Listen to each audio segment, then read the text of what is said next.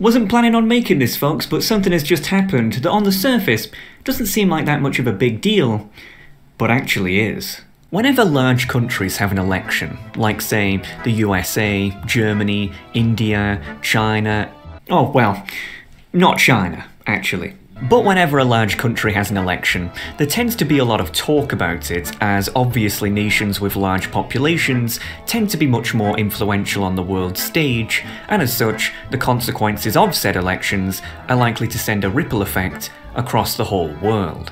For example, the election of the rather submissive Joe Biden, the 46th President of the United States back in 2020, substantially weakened America's influence on the world stage and in turn gave the nation's rivals the confidence to make moves that they would have never have dreamt of doing had the US been under a more hawkish president. Needless to say that elections in large nations, especially superpowers, are obviously of the utmost importance. However, as I always like to say, take care of the pennies and the pounds will take care of themselves. Many people don't really pay attention to the election results of small countries, as they are seen as ultimately irrelevant. And while it is true that the election results of, I don't know, Luxembourg aren't ever going to really change the world stage regardless of outcome, what happens in small countries is still important. Why? Well, it's simple. Small countries tend to ally themselves with larger countries in return for things like financial aid, trade, or just sheer influence. New Zealand, for example, is obviously pretty irrelevant on the world stage. It has a very tiny population, minuscule landmass, borderline non existent military, nor any nuclear weapons to speak of. Yet despite all this, it can still thrive via trade and positive diplomatic relations due to its links to the wider Western world. This is what I like to call a world order, a network of nations that hold a similar or identical value system that cooperate very closely with one another. At the end of World War II in 1945, two world orders formulated the Free World Order and the Communist World Order. The Free World Order was led by the United States and championed, as its name implies, a value system of freedom, democracy, and free market capitalism. Meanwhile, the Communist World Order, led by the Soviet Union, stood for the exact opposite conformity, autocracy, and a centrally planned economy. From 1945 to 1991, these world orders essentially split the world up in two. And while there were some nations who tried to remain neutral, world power rested in the hands of these two superpowers, and the states who allied themselves with them. Barring the United States, the Free World Order was comprised of the Anglosphere nations, such as Canada and Australia, as well as many Western European states, such as France and the Netherlands. Meanwhile, barring the Soviet Union, the Communist World Order was comprised of Far East nations such as China and North Korea, as well as many Eastern European states such as Bulgaria and Poland. And again, it really can't be overstated how the free world and the communist world lived under a completely different set of values, both socially and economically.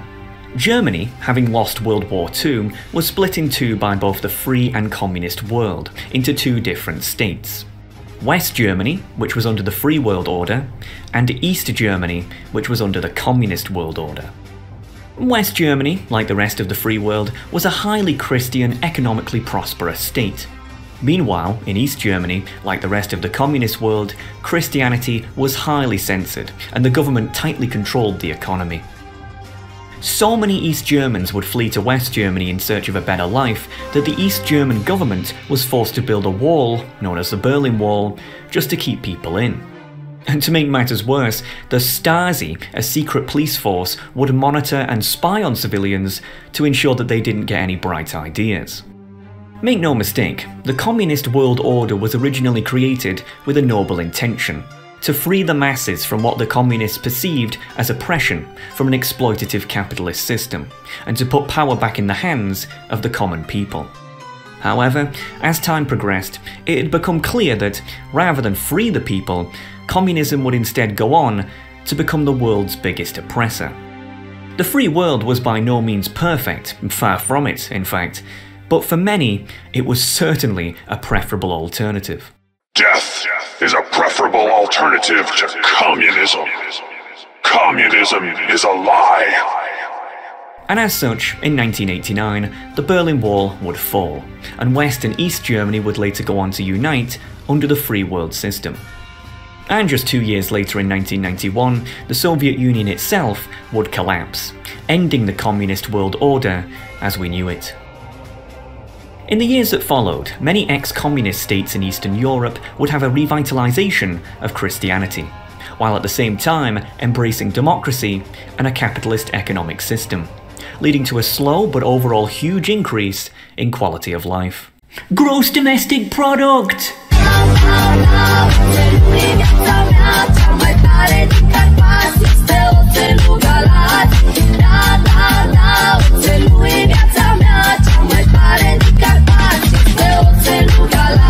Other states, however, such as those in the Far East, would still remain authoritarian and simply rebrand with their own homegrown ideologies.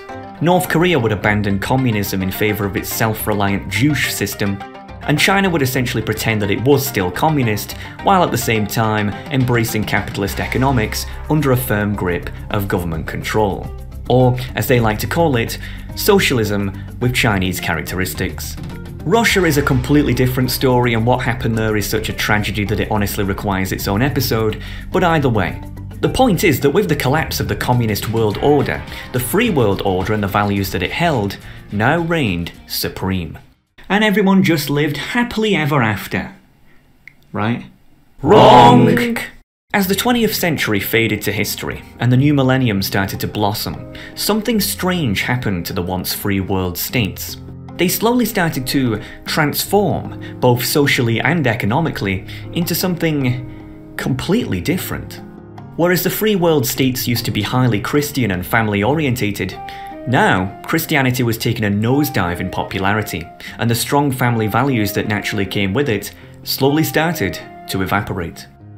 Where once individuals and small businesses used to be able to thrive, now, wealth would consolidate at the top, and corporations would dominate the markets while leaving everyone else behind. Freedom of speech, a value once thought universal, had slowly transmogrified into hate speech, whereby in some places people could even be fined or jailed depending on what they said. The education system that once prioritised logic, free thought, and creativity went from teaching people how to think to teaching people what to think. The media went from telling people objectively what was going on in the world to cherry picking information, subtly selling a controlled corporate narrative. But worst of all, governments increasingly seem to be less representative of the will of the common people, but instead, their wealthy corporate donors who funded their ascension to power in the first place. Everything the free world once stood for Christianity, democracy, and competitive capitalism it had slowly started to abandon, and in its place were a new set of values degeneracy, totalitarianism, and corporate domination. Ironically enough, everything the communist world once accused the free world of being, nations of oppressed masses enslaved by mega wealthy oligarchs, would actually slowly start to come to fruition. The free world had become free no more. But how? Good question. It's my belief that during the multipolar world of 1945 to 1991, the communist world order counterbalanced the free world order by constantly reminding it of what it stood against. But when that enemy disappeared, from 1991 and onwards, the free world, without a clear enemy, became directionless, and slowly started to forget what it stood for in the first place. In addition, with the fall of communism, left wing parties within the once free world realised that they had simply lost the economic argument. And thus, they instead started to heavily rebrand themselves in the only way that they could by focusing on social issues such as identity politics. This type of rebranding was best displayed by the British Labour Party, who, under the leadership of Tony Blair, advertised themselves as New Labour and managed to win three elections in a row as such changing the values of the United Kingdom in the process. This transformation of values went on quite quietly in the once free world nations, such as the US and the UK, with many of its citizens sleepwalking into oblivion without even realising it. But in the nations that were once part of the communist world, this transformation had certainly not gone unnoticed. Which brings us on to Hungary. Before World War II, the Kingdom of Hungary was a pretty typical European nation. Well, apart from the fact it was a kingdom without an actual king, but that's a story for another time. After the war, it was agreed by the Allies that Hungary would fall into the Soviet sphere of influence. Unfortunately. And thus, in 1949, the Hungarian People's Republic was formed, which was essentially just a satellite state of the Soviet Union. In its first election, the Communist Party, which just so happened to be the only party that actually ran, won over 97% of the vote. Wow, these guys must have been popular. Not really. As is usually the case in communist nations, all competition with the ruling party was destroyed, and anyone who opposed the regime in power was simply re educated. Usually with a bullet to the brain. You get the idea. Needless to say that for the most part, life within the Hungarian People's Republic wasn't exactly fantastic, to put it mildly. But eventually, in 1989, the same year that the Berlin Wall fell, the Hungarian people did manage to successfully transfer away from the communist world and into the free world, ending the Hungarian People's Republic once and for all. But after being under communism for four decades, it kinda goes without saying that Hungary was pretty poor. For reference, in 1938, Spain only had a GDP per capita of around $900, whereas Hungary was much wealthier at around $1,100. But fast forward to 1990, and Spain's GDP per capita had gone up to $10,900, whereas Hungary was just 2,800. Yikes. Throughout the 1990s, Hungary would struggle to convert its centrally planned economy into a free market system. However, after a few years, they eventually sorted themselves out and integrated themselves much more into the wider Western world, even going so far as to join the European Union back in 2004. And that's great and all, but as I said earlier, the West is changing, and not for the better. Hungary has, in recent years, found itself stuck between a rock and a hard place.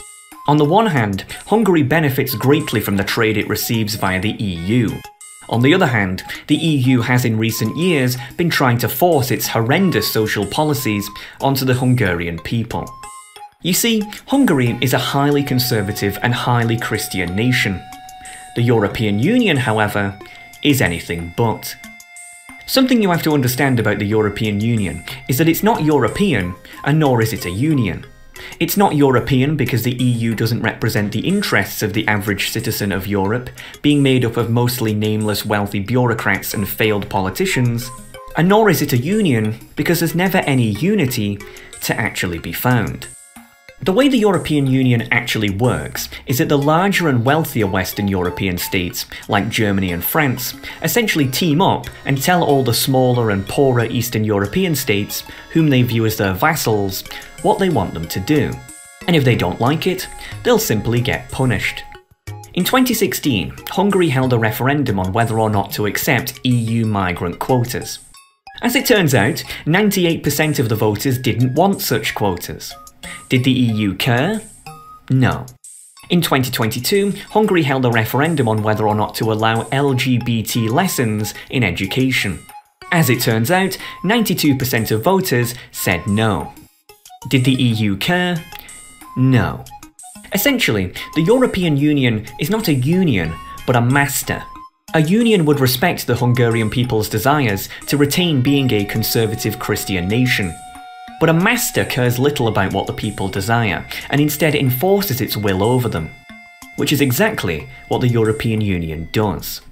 Whereas Western Europe deals with its declining population via unbelievable levels of mass migration, which hardly anyone but the most wealthy actually benefit from, Hungary instead decided to make it easier for the Hungarian people to start families, via motives such as eliminating taxes for mothers with more than three children, reducing credit payments, providing easier access to mortgages, expanding daycare programs, and even giving out massive government subsidised zero interest loans to married couples.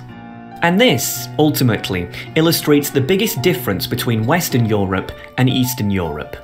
Eastern Europeans love their countries, their religion, and their culture. After being under the iron grip of the Soviet Union for decades, they now thrive in the freedom and independence provided to them. Western Europe, on the other hand, never underwent such a period of oppression, instead emerging the smug and wealthy victor of a Cold War that they didn't even fight. Because of this success, Western Europe is under the delusion that they are always right, and that their Eastern European counterparts are simply backwards regressive primitives who simply don't understand just how much smarter they are. When the reality is anything but. The truth is that most of Western Europe is completely delusional. They still see themselves as being the free world that they were just a few decades back, despite the fact that the times have changed. We know this from how the European Union refers to everything they don't like as dictatorial, while simultaneously referring to everything they like as a human right. Mass migration is now apparently a human right. Indoctrinating the youth with propaganda is now apparently a human right. Selling out your own citizens to be at the mercy of American megacorporations is now apparently a human right anything that's part of their agenda suddenly becomes a human right. Yet, what about the human right to determine the future of your own country? This man is Viktor Orban. As the Prime Minister of Hungary, Orban has had the very difficult job of trying to balance Hungary's need for continued economic development while staving off the oppressive EU hand. And this man is Jean Claude Juncker, who was the de facto head of the European Union from 2014 to 2019. If you want to know how the European Union views the Hungarian people and its government, then check out this clip of when these two men met. The dictator is coming. Dictator? Not the usual greeting you would expect to hear at an EU get together, but dictator was the word chosen by European Commission President Jean Claude Juncker as he welcomed Hungary's Viktor Orban in Latvia. That's right, Jean Claude Juncker, the unelected head of the European Commission, a man who, by the way, is renowned for being a serial alcoholic, who would often embarrass himself in public, calls Viktor Orban, a man who has won numerous elections back to back, a dictator. Dictator? The irony, truly, is unbelievable. Oh, yeah, remember earlier when I said that Hungary was under communism for decades? Well, to make matters worse, back in 2018, Jean Claude Juncker actually attended and spoke at an event celebrating Karl Marx's 200th birthday even going so far as to defend his legacy from detractors. European Commission President Jean-Claude Juncker has opened a series of exhibitions in Karl Marx's hometown of Trier. They include a huge bronze statue of Marx donated by China. It's to be officially unveiled on Saturday, the 200th anniversary of the birth of the philosopher.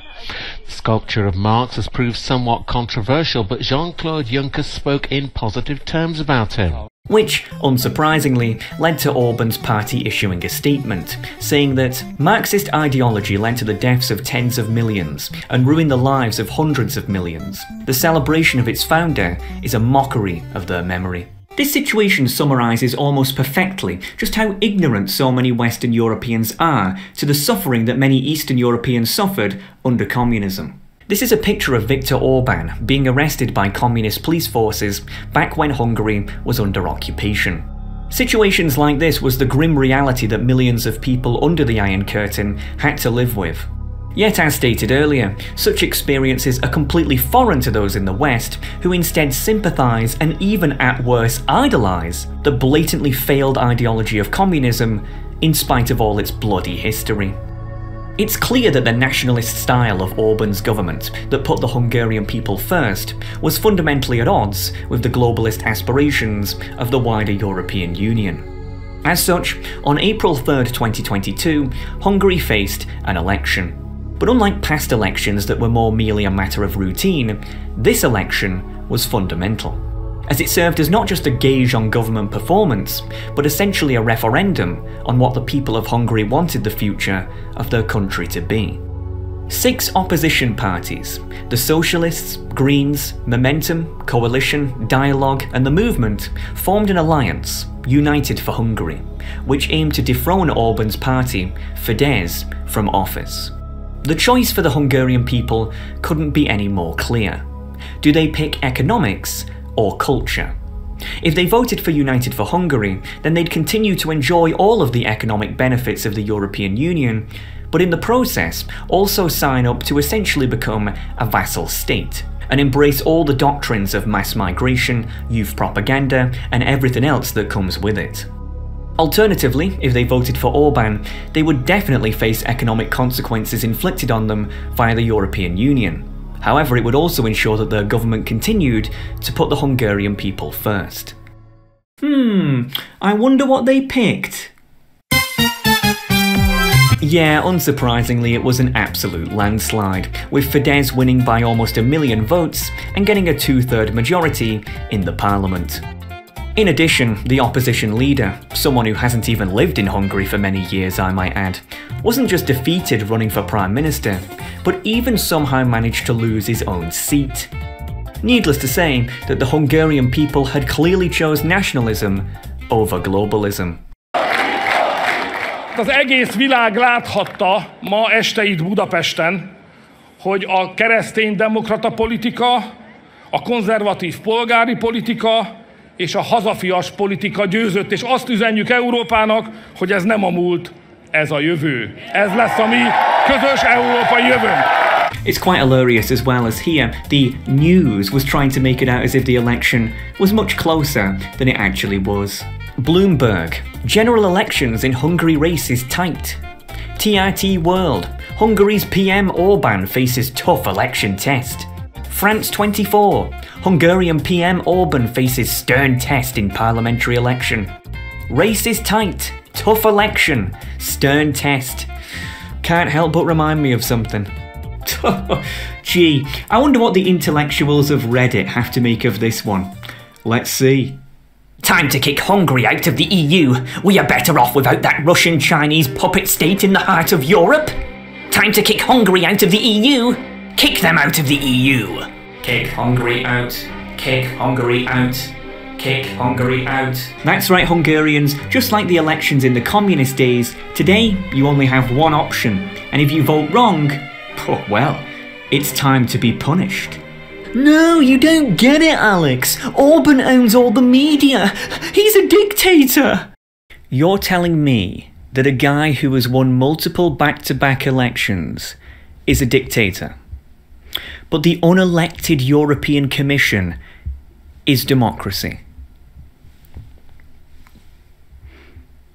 What planet do you dickheads live on? Make no mistake, Hungarians, I am aware that there's much more to Orban than how he presents himself.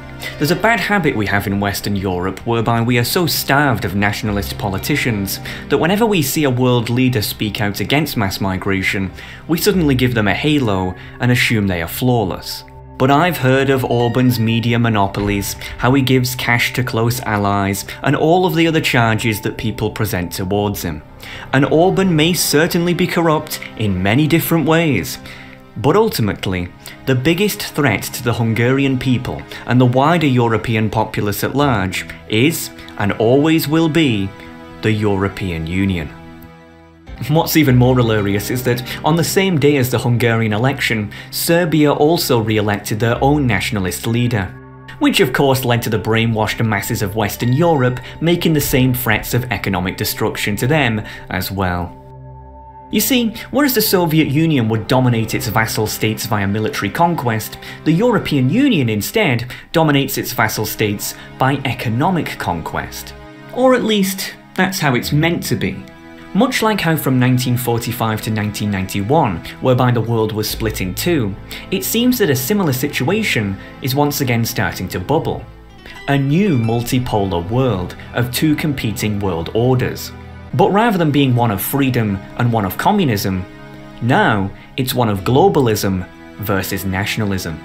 The United States and the European Union have both decided to favour the interests of big business over the quality of life of their own citizens.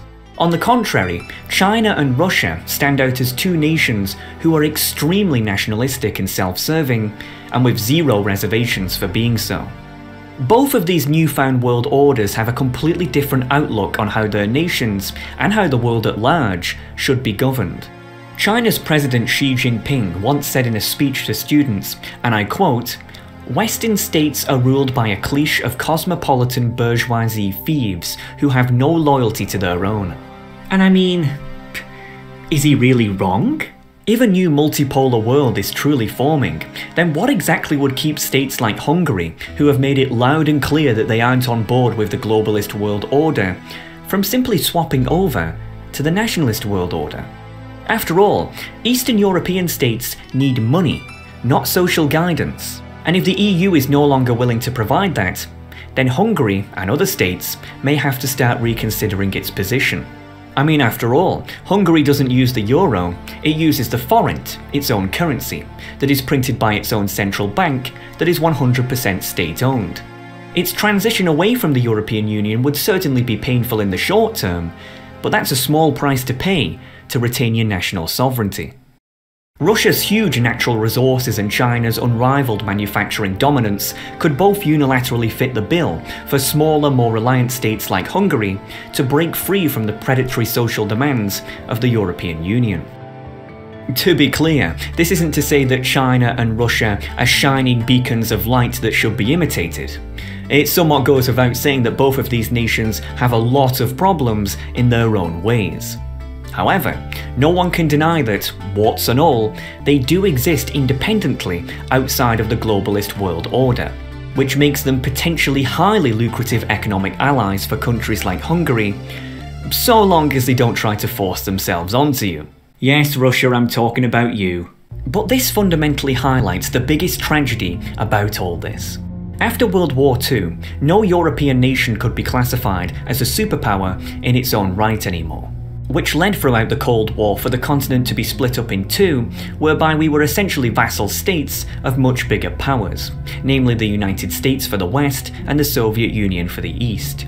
The European Union, however, was made to set us free from such burdens, to have Europe unite and become our own superpower, whereby we, the European people, had our own voice in the world, independent of outside forces.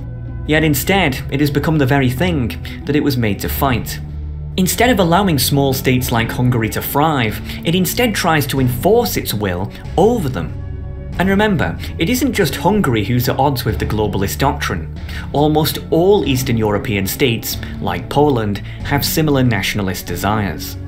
Even in Germany, the difference between the naive Westerners who had no experience with communism and the experienced Easterners who did can easily be observed from electoral voting patterns. Whereby West Germans seem to universally vote for globalist parties, such as the CDU, East Germans seem to vote for nationalist parties, such as the AFD instead. And even right within the heart of globalism, such as the United States, and even my home country of the United Kingdom, there are rising nationalist factions who are slowly starting to undermine the globalist establishments.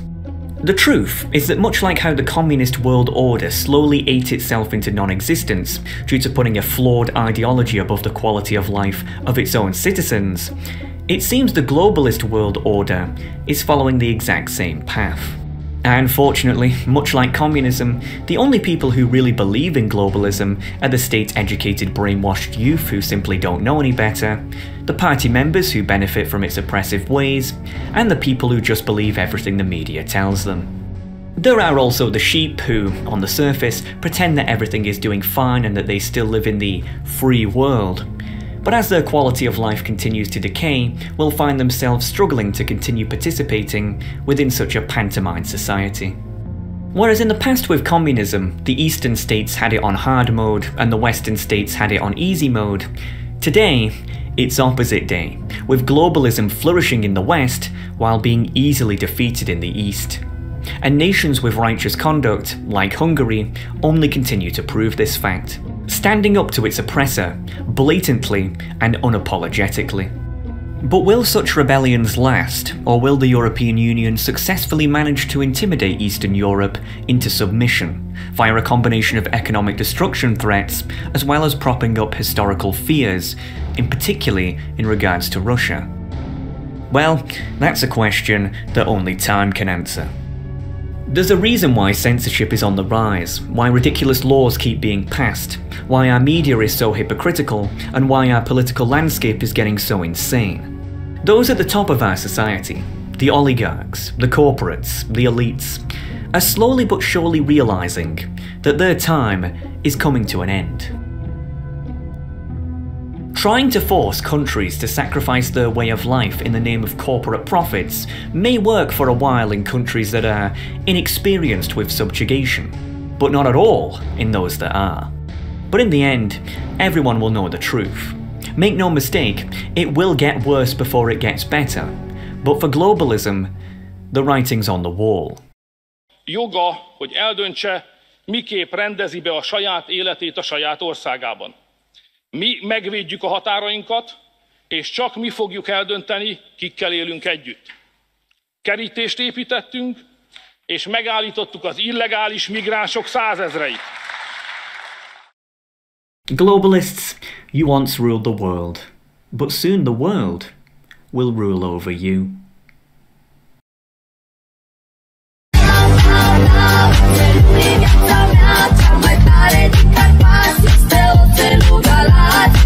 Alright, folks, hope you enjoyed that. And before you ask, no, I have no idea what this song is in the background. All I know is that it's Romanian. I, I just saw it on a, a long lost file in the vault that said, Cool Romanian Song. Absolutely no idea what it is, so if you know what that is, uh, tell me because I'm genuinely curious. But more importantly, I want to know do you think I'm onto something with this nationalist versus globalist world order? To me, it seems obvious, right? I mean, it just clearly is the case. Look at all the events that are going on in the world right now. It's clear we're entering a new multipolar era. And all I can say is I know what side I'm on. and I can already hear people typing paragraphs telling me this.